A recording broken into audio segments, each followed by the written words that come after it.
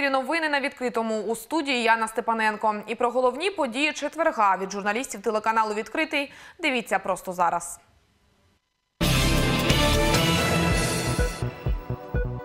Під прицілом камер у Дніпрі фіксують на відео практичний іспит на водійські права. Медична реформа в Україні вступила у другу фазу. Як готуються лікарні Дніпра? Амбітні плани. Дніпро подав заявку на звання культурної столиці України. Водосвяття. Як пірнути у студену воду і не захворіти. І про все це більш детально. У Дніпрі тепер фіксують на відео практичний іспит на водійські права. За майбутнім водієм та екзаменатором слідкують дві камери, встановлені всередині авто. Нововведення дозволить мінімізувати корупційну складову та ретельніше слідкувати за діями екзаменатора та учня. Зазвичай у сервісні центри МВС надходять скарги щодо упередженості екзаменаторів. Тих, хто складає іспити на водійські права, навмисно відправляють на перездачу, підштовхуючи до хабарів. Відтепер таких скарг не буде. Практичний іспит записують на камеру, яка встановлена в автівці. Вона фіксує дії і учня, і екзаменатора. Одна камера направлена на вас, інша попереду. Камера фіксує ваші дії та дії, які проходять навколо автомобіля. Відео зберігається обмежений час, тому у майбутніх водіїв є лише 10 днів на оскарження рішення екзаменатора. Таких ситуацій поки що не було, адже більшість людей відмовляється від відеофіксування. На сьогоднішній день людина може відмовитись від відеофіксації, але в майбутньому відмовлятися вже не можна буде. Якщо особа відмовляється, то вона не буде допущена до практичного іспиту. Сьогодні на екзамен прийшло понад 30 учнів із різних автошкіл. Дебют у Дмитра. Юнак мав виконати до п'яти елементів: заїхати в гараж і не зачепити дорожній конус, розвернутися в обмеженому просторі, проїхати майданчиком та заїхати на естакаду. Дмитро допустив кілька незначних помилок, але екзамен склав. Всі його дії фіксувала відеокамера. Я считаю, что нужно для того, чтобы там не было там, с- там, между там, инструктором там, и, и учеником какие-то договоренности, то есть, чтобы все было по-честному, то есть, если там где-то инструктор, где-то вы там посчитали ошибку, и вот там, что он засчитал вам привзято от- отнесся, то можно обжаловать это все, все по камере посмотреть все это, то есть это правильно считаю, к этому надо было стремиться. У сервісному центрі МВС, де складають іспити майбутні водії, переконані, така новація дозволить ретельніше слідкувати за діями екзаменатора та учня. Це зовсім практично унеможливує якісь корупційні е, види, е, так як і адміністратора, е, і екзаменатора, який приймає екзамен, так і іспитуємого кандидата водії. Нововведення підтримують і у профспілці автомобілістів Дніпра. Ми змогли це зробити так, аби кожен студент мав можливість неупереджено сьогодні скласти іспит. Марія Бондар, Андрій Лата, Open News, телеканал відкритий. Рухнув у колектор. У Дніпрі надзвичайники врятували чоловіка, який впав у комунікаційний колектор.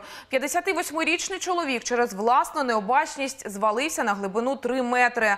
Рятувальники за допомогою драбини та рятувальної мотузки дістали постраждалого на поверхню та передали медикам.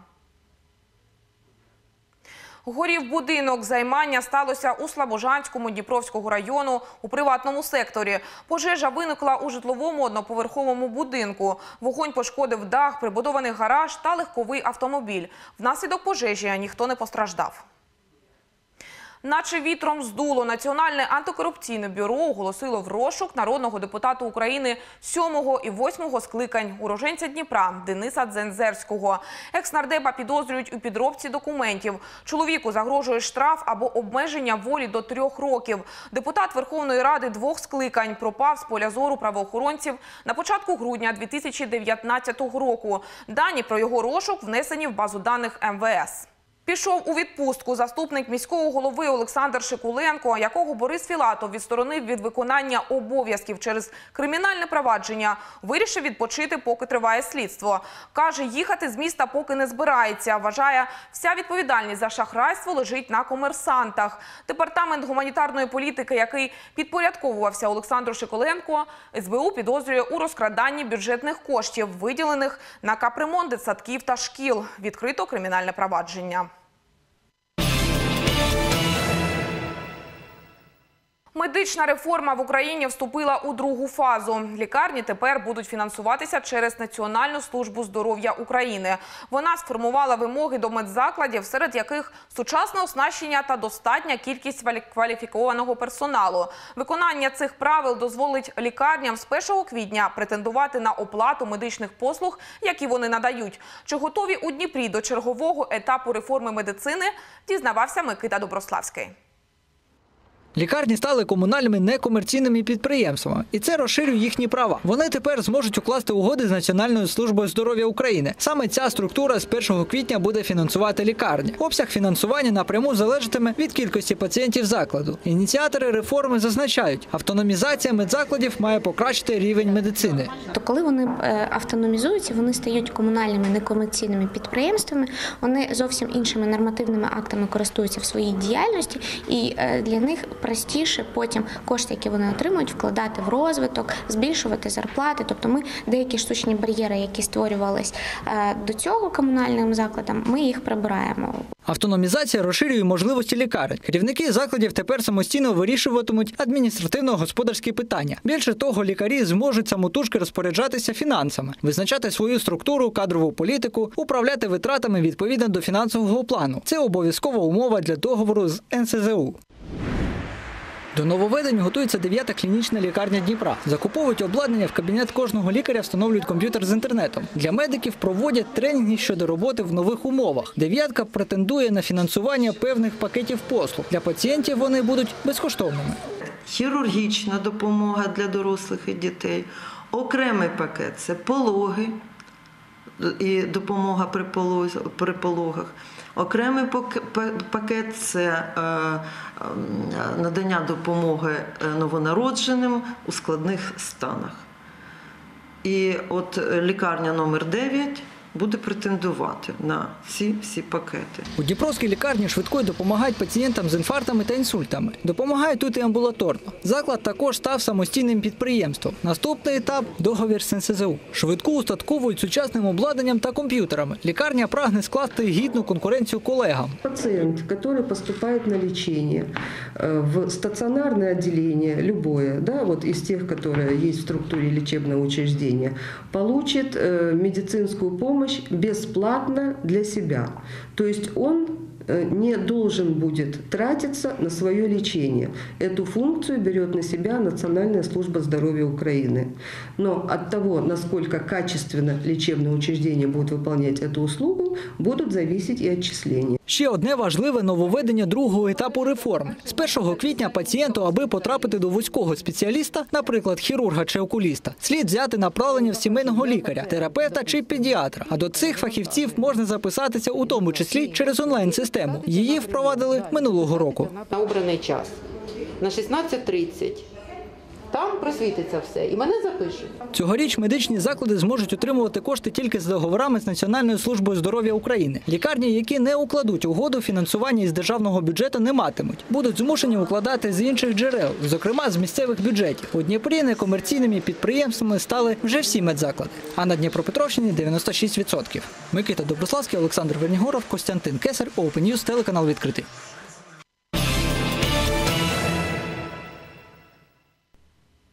Гральному бізнесу зелене світло. Верховна Рада ухвалила у першому читанні законопроєкт про регулювання діяльності у сфері азартних ігор. Документ підтримали 260 народних депутатів. Він покликаний створити систему ефективного регулювання грального бізнесу і збільшити надходження до державного бюджету. Проєкт закону визначає, які заклади можуть існувати на території держави. Серед них казино, букмекерські пункти, гральні автомати, лотереї. Як ставляться до легалізації грального бізнесу Дніпряни, дізнавалася знімальна група телеканалу Відкритий. Ну, игральный бизнес – это дополнительный доход государству. Если это будет в каких-то отелях, то, в принципе, вполне нормально. Негативно, вообще негативно. Не надо его легализировать. Ну, это такое, прожигают люди время свое, деньги и родственникам предоставляют куча-куча неприятностей. Я за- э, против, против. Я категорически против. Категорически против. Люди идут разные. Вот.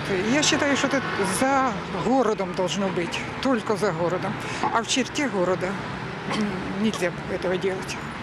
потому что будут подростки идти под разным предлогом. И взрослые разные тоже будут всю пенсию проигрывать. Я считаю, что обязательно надо, абсолютно поддерживаю, потому что, на мой взгляд, это действительно дополнительные поступления в бюджет, и я только за. Ну, вообще, ну, негативно. День, денег много, много денег люди проигрывают. Это очень плохо. Можно как-то другими путями заработать деньги. А вообще из Днепра можно сделать Лас-Вегас. Много казино, тут яркие такие улицы. Люди приезжают со всего мира играть в Днепр, э, в казино, при- привозят много денег. Жители Днепра тут вообще в шоколаде все.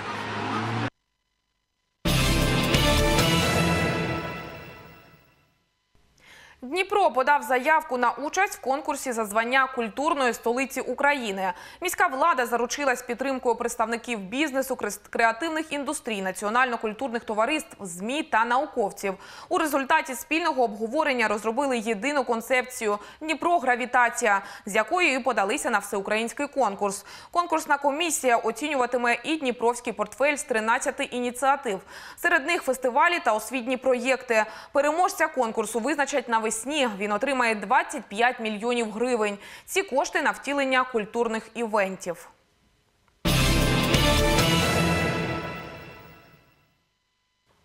Індик, етер та фавна. Новий правопис української мови продовжує багато питань. Нововведення вже рекомендують застосовувати в усіх сферах життя. А повний перехід на новий правопис має завершитися до 2022 року. Як запроваджують нові норми, з'ясовували журналісти відкритого. Філологи, редактори і перекладачі вже майже півроку користуються новими мовними нормами. І хоча нововведення викликає багато суперечок, фахівці вважають, воно на краще. Мова наша починає жити своїм життям, е, не враховуючи нібито старшу сестру російську мову. Е, Чомусь нам було нав'язано, що українська мова дуже подібна до російської мови, хоча Е, хоч а, і не навпаки, хоча насправді найближчою до української мови є білоруська мова, потім польська мова, потім словацька, і лише на четвертому місці російська. Я люблю читати книги, я вчаю, я люблю вчити нова мову. Я студентка українською мовою. Ця група іноземних студентів з університету митної справи та фінансів тільки но знайомиться з українською. Вивчають нашу мову лише місяць. Призвичаюватися до нових правил їм не доводиться, адже викладають студентам за сучасною редакцією правопису. Спочатку вивчають фемінітиви. З приводу того, як на нас і на навчальний процес вплинули зміни у правопису, звісно, ми зараз вивчаємо і фемінітиви також. Якщо раніше у нас був викладач, студент, лікар, то зараз ми обов'язково вивчаємо лікар-лікарка, викладач-викладачка, студент-студентка. Для Наталії, літературного редактора місцевої газети, новий правопис поки що викликає складнощі. Жінка щодня редагує тексти журналістів і слідкує за тим, щоб колеги не допускалися помилок. Немає такої паперової е, якоїсь опори, немає на що звернутися, до, до чого звернутися. На, на жаль, ще в словниках цього всього немає. От, є така собі роздруківка з інтернету, от нею користуємось. Складно заставити себе писати ту ж міні-спідницю разом, замість того, щоб писати її через дефіс, чи якусь поп-музику, наприклад, от як прес-конференцію писати разом такі слова. Відомий мовознавець та автор підручників з українською Олександр Авраменко закликає не боятися змін. Рекомендує вивчати нові правила плавно. У своїх експрес-уроках він стисло та дохідливо пояснює нові норми. Науковці вирішили вирівняти правила, щоб не було такого хаосу от, у вимові. Бо один той самий корінь, чому орфографія, але ортопед. Тоді має бути і ортографія. І тому тепер, відтепер і ефір, і етер, і афіни, і атени, і міф, і міт. Експерти наголошують, правопис наблизили до живої мови. Змін не так багато, як здається на перший погляд. Головна ідея мовних змін навчити Україну говорити і писати грамотно. Яна Степаненко, Костянтин Кесар, Євген Коденцов, Open телеканал відкритий.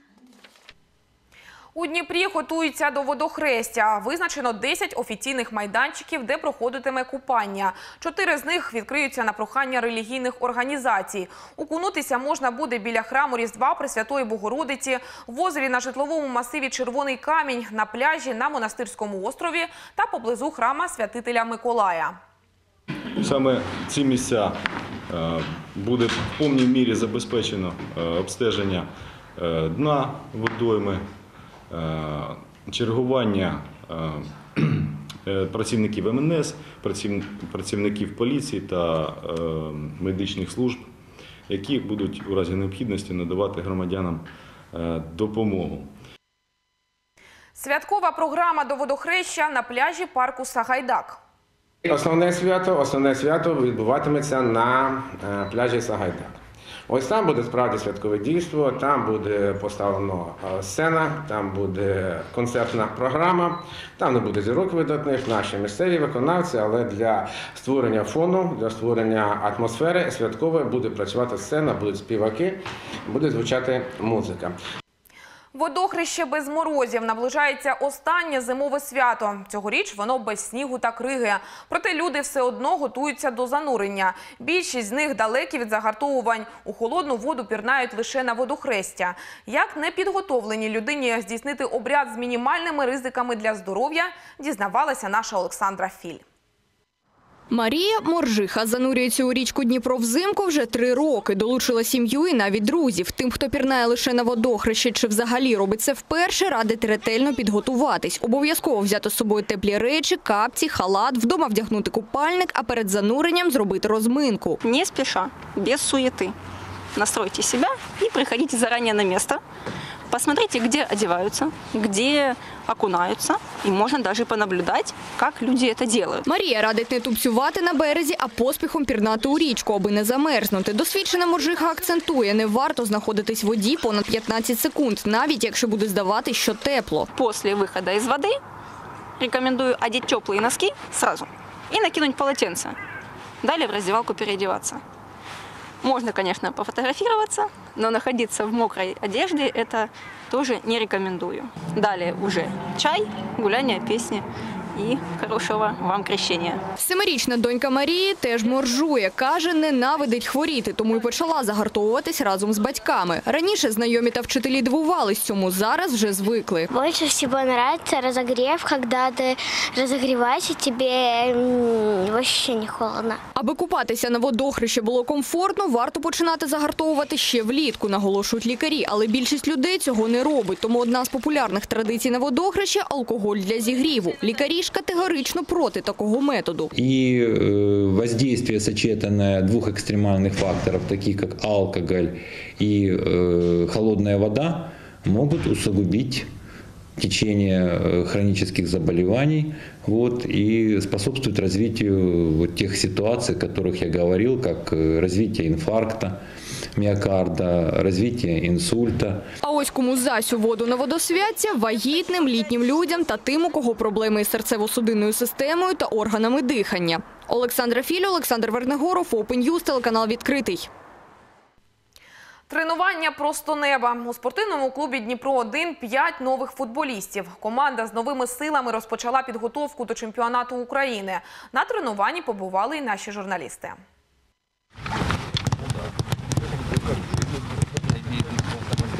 Команда СК Дніпро-1 на своє перше відкрите тренування прийшла у гарному настрої та сповнена наснаги. Для футболістів це нова віха в історії, адже футбольну родину поповнили нові гравці. Один із них – Андрій Цуриков. Він вихованець запорізького металурга, крайній футбольний клуб, за який грав чеський яблонець.